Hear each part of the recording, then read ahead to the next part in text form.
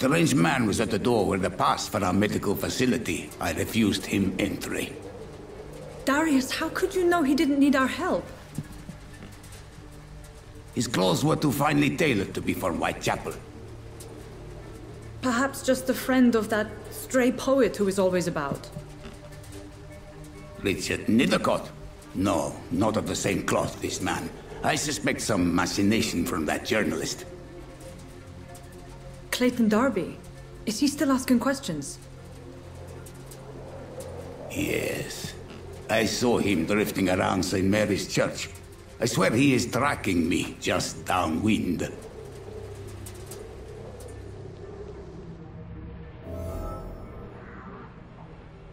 I must talk to that journalist or the poet. They must know about Darius. Nearby the church they just mentioned.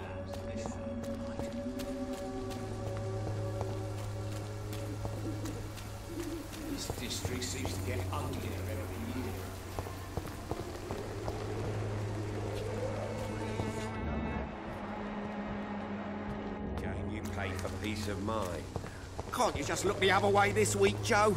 Come on, we can sort it out, right? It's not my call, Barrett. You pay one way or another. Please, Joe. How long have we known each other? We even used to be neighbours, for Christ's sake. I'd prefer not to give you another beating, Barrett. Welcome, sir. Please, take a browse of my wares. I am Dr. Reid. I would like to ask you a few questions, if you don't mind. Doctor? Interesting. I'm Barrett Lewis. Usually I don't have time to waste with talk, but at this hour of the night I can hardly refuse.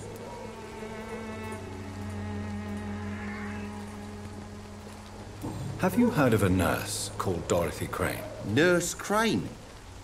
So the bitch really is a nurse, then? Always thought she was just some crafty foreigner, that one.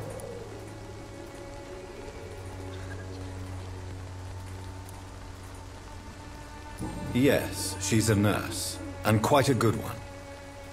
What did she do to gain such notoriety? Dorothy Crane ain't even a real name.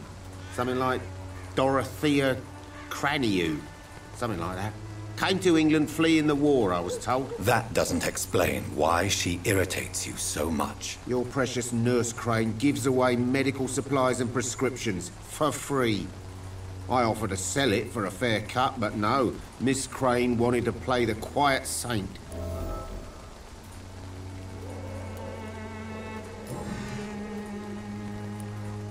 How is business around here? Business? I had no business. Between this racket, theft, and customers getting scared, I'm losing money every day. I see. Sounds like you blame someone in particular for your situation. It's no secret Joe Peterson spends his time harassing merchants. But with me, he's trying to put me out of business once and for all. As a merchant, you see Whitechapel every day. Have you noticed anything out of the ordinary recently? Well, you mean besides the epidemic, the war, and all the usual crap? As long as I can remember, this part of town has been a bottomless pit, and no sign of the bottom yet. Violence is increasing in the borough. Yeah. A few nights ago, some blokes jumped me. Came out of one of the condemned workshops. Fever, madness, something like that. Where did this happen? Why did you go there? In the closed workshops nearby. I worked there as an apprentice in better days. Now I only go to find trinkets or tools. Too bad I was mugged, though. There was good money in that little box of loot I lost.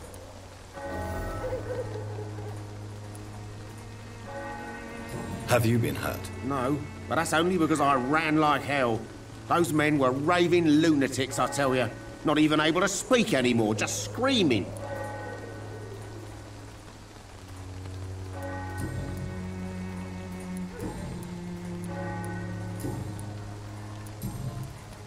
Right then.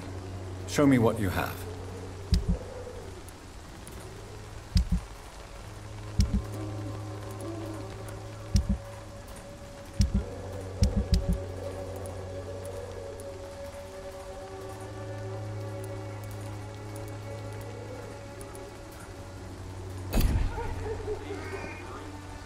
Fancy buying something, sir? You never lose your focus, do you? Do you need help, sir? I only need you to purchase something from my shop, sir. Goodbye for now, Mr. Lewis.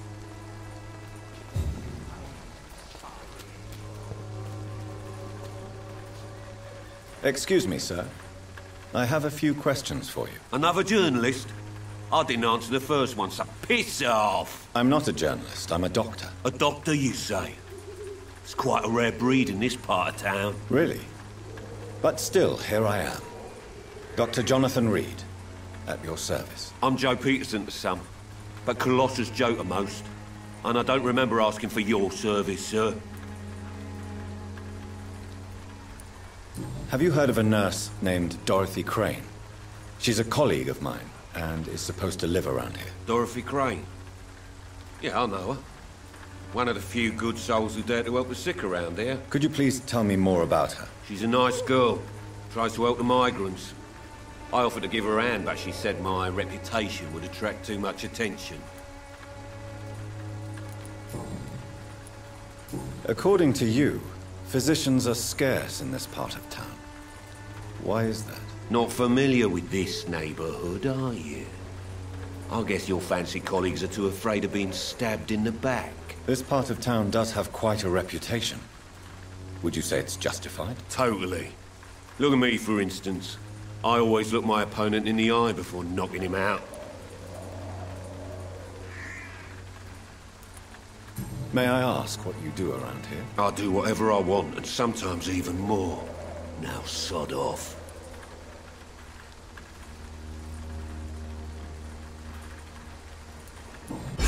Become the local bully everyone is afraid of, Joe? There's no pride in roughing up poor bastards. But this is the only job I've found. And it pays well, too. A job? So you're racketeering for someone else? I got enlisted by the Wet Boot Boys, a gang from the docks. I'm their muscle for their dirty work.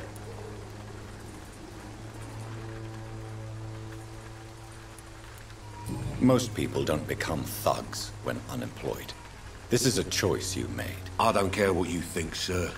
I do what I have to do for my own reasons, and that's that. I'm not sure Mr. Lewis would agree with your by all means necessary philosophy, sir. Oh, do you really think he's the poor victim here?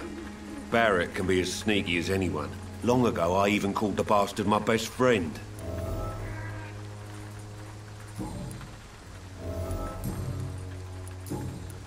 Goodbye, Mr. Peterson.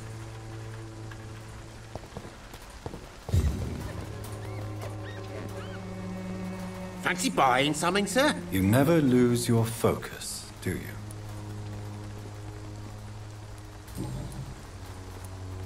Joe Peterson. He's the villain here, isn't he? But you seem to know each other. I'd known Joe for years. I saw him box once or twice. He was a friend then. But these days, he's just another thug.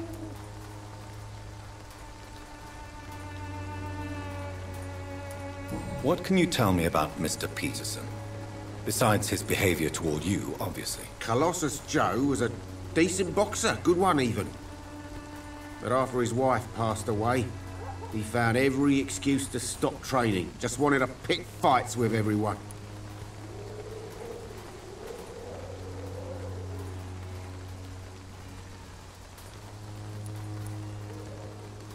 Without making excuses for him, it's safe to say that despair can poison even the sanest mind. We've all had some rough times, ain't we? But most of us don't use our fists to see us through. And no one has ever stood up to this thug. Nobody would be fool enough to stand against a wet boot boy.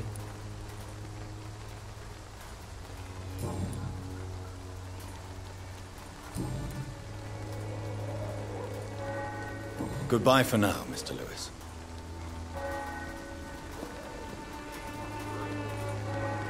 I know it's hard to believe, but this district has always been wretched. Don't let your guard down. Hello, young man. I'm Dr. Reid, and I would like to ask you a few questions. May I enter, please? Sorry, no, sir. My father does not like people entering our house, you see. Your father is worried about you, boy. He asked me to look for you. So my father actually worries about me then? Okay then. Come on in. I'm Harry, by the way. Even my dreams are soaked with gloom.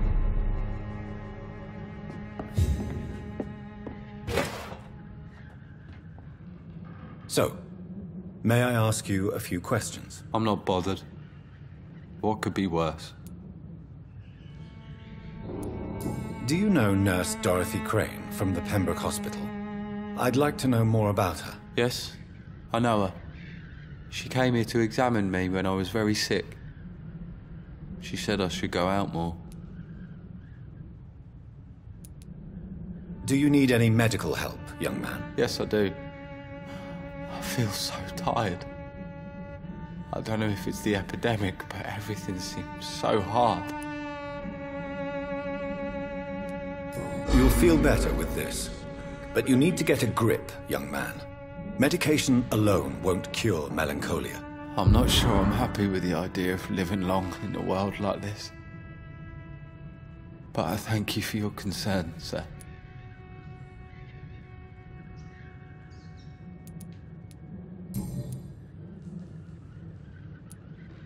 How do you feel? I'm fine. I mean, it's not easy every day, but I'm fine. I'm just tired of being sick all the time. If only I could be tough like. Well, you know. Mm-hmm. Speaking of which, what can you tell me about your father? My father is an idiot who makes idiot things. That's all I have to say.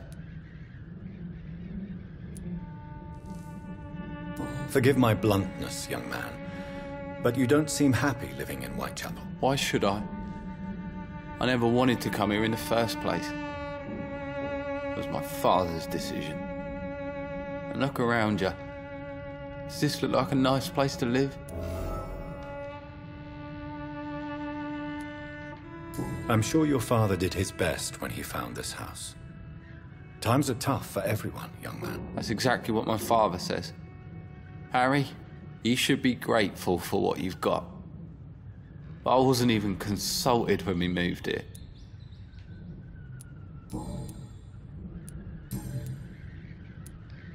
Your father and Mr. Lewis used to be good friends. What happened, Harry? I was young then. I don't remember Mr. Lewis ever coming back again after my mother died. Or was it after my father started bullying him? I don't know. Have you tried speaking to Mr. Lewis about it? I don't go out often, but yes. And he scolded me and told me to leave him alone. I guess my father frightens him too much.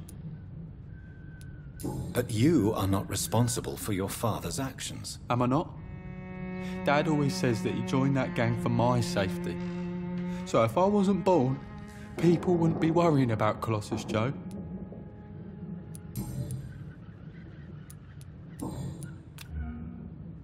Goodbye, young man. Take care of yourself. Is there only pain and suffering in this world?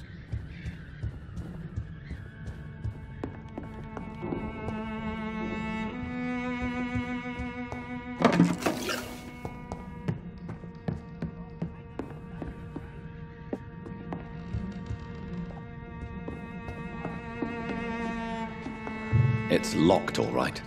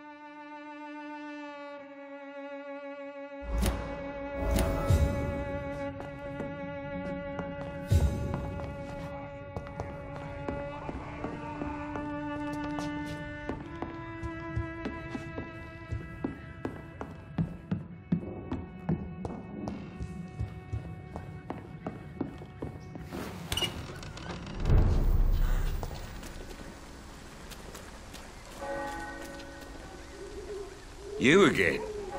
What do you want this time? Harry doesn't seem happy living in Whitechapel. Why did you make him come here? I've always put my son's interests above everything else, whatever he may think. Our house is small but affordable. The walls are thin, but the door is solid. You really love your son, don't you, Mr. Peterson? He's my pride and joy. Even if he hates me for the choices I make and pushes me buttons more than he should. Do you have any regrets? Only one. Not to have my beloved wife by my side. She died when Harry was little. My sweet Jane. She gave the boy confidence. Since the criminal nature of your job means you could be arrested, are you not afraid of what would happen to your boy if you were? No one will ever take my son away from me. If that ever occurred, I'd... I'd hunt the bastard down and rip off his head with my bare hands. Why do you keep on working for the gang, Joe? You know it doesn't suit you. It's true, I hate this job. And I know I made some bad choices, but I'm a wet boot boy now. And people won't forget it. You could leave tomorrow. Start another life in another town. That's easy for you to say, Doctor. We are poor. My son's weak. And there's no way he'll endure another disappointment.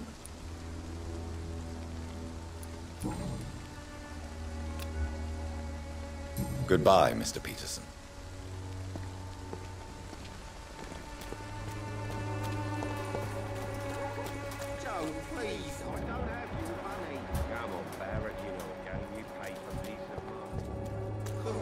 Your home will not protect you. Forgive my interruption. Do not apologize, my son. Father Tobias Whitaker is always happy to teach mortals about the incoming Armageddon. I am Dr. Jonathan Reid, and I just have a few questions. A scientist? You are much more lost than I thought, my son.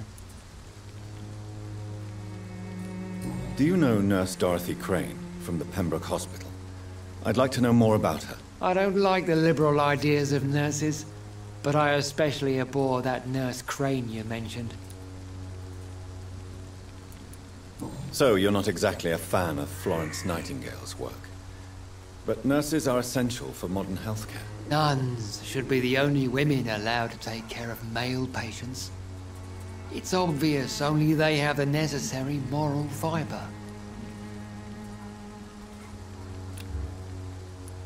Why do you hate Nurse Crane more than other nurses? Before coming to London, she was a member of the communist resistance in our country. That's what happens when you let a woman get involved in politics.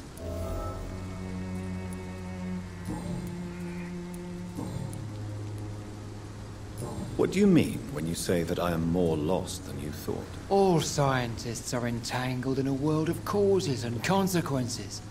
And most of them can't see the plain truth. Quite a judgmental opinion, if you ask me.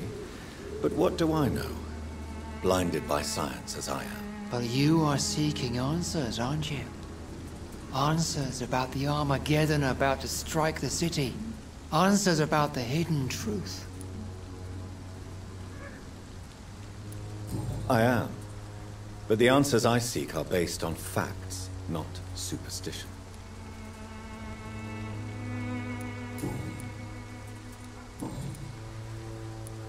Have you any friends?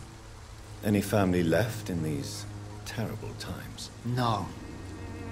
But I have a disciple I see as my son. He is so devoted. I send him to preach the good word in the heart of this corrupted city.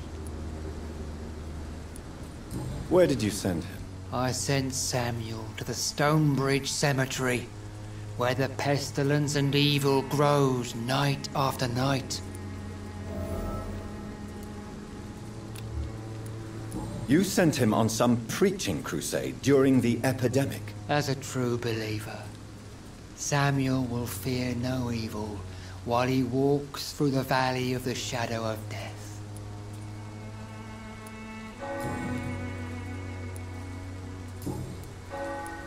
I have heard enough for tonight. Goodbye.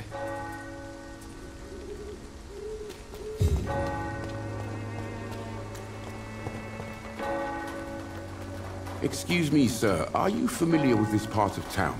Name's Clayton Darby, reporter. Sorry, I'm new to Whitechapel. But perhaps you could help me since you're a journalist. My name is Jonathan Reid. Dr. Reid, the famous surgeon. I'll gladly help if I'm able, sir.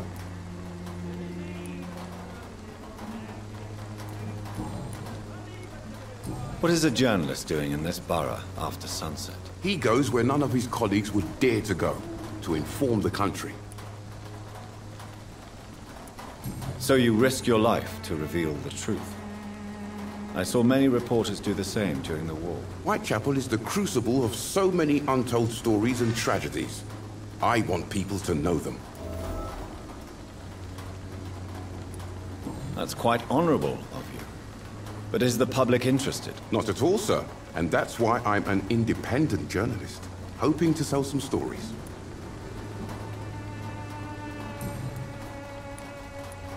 Why are the newspapers keeping silent about the Spanish influenza? It's as though none of you care. There's a war going on. People shouldn't be demoralized by news of deadly diseases.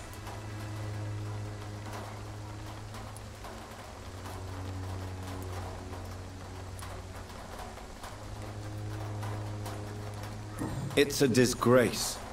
People are left to die alone. No one is properly informed of the risks. These are bad times indeed. So much for the glorious British Empire. Have you any idea of the danger you face in these streets at night? I've had to run and hide more than once from frenzied mobs incensed by the fever. Do you think the flu is really responsible for this, Doctor?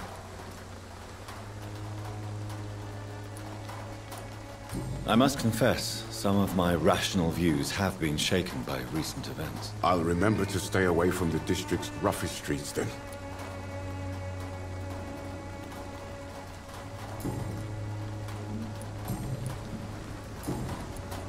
I heard you're investigating an underground medical dispensary in Whitechapel. What do you know about it? Not much, I'm afraid. They are wary of strangers, and I'm not really an acquaintance of theirs. Why do you care?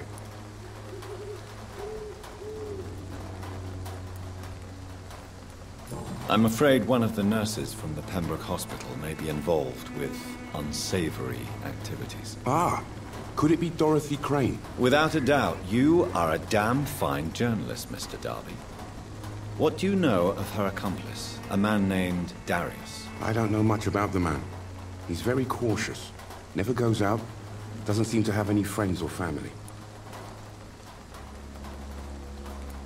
He has no relatives at all? No. Except for that strange man, a poet named Richard Nethercott, who sometimes comes by. Darius would never let him in. Where can I find this Mr. Nethercott? He spends most of his time lurking around Whitechapel, talking to himself or declaring verses. These days, you can usually find him behind the church. He never goes out? No. A few days ago, he unexpectedly did. I followed him, but it was just a ruse to keep me away from his house. Really? How do you know? He went to the nearest mailbox, but just before posting his letter, he ripped it up and threw it away. Do you need assistance? That would be nice of you, Doctor. Who knows what I may have caught you in my investigation. If you persist in investigating the most pox-ridden boroughs of London, you must accept the risks. Thank you, sir. Goodbye, Mr. Darby. Farewell.